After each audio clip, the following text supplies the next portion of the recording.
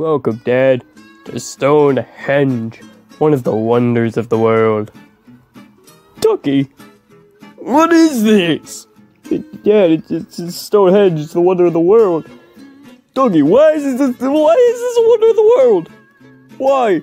You don't realize I had to wait eight hours in line just to get a plane over here so you could show me a bunch of rocks.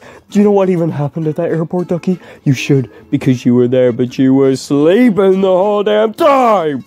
I, I'm, I'm sorry, Dad. I, I, I just did. You didn't know nothing. And now we're abandoned in the middle of the nowhere, but it's all fine because we got some rocks. Ducky, how are we even gonna get home? Dad, maybe we can make a car like the Flintstones. The Flintstones? Ducky, you expect us to carry one of those giant rocks with the bare muscle in our legs? Uh,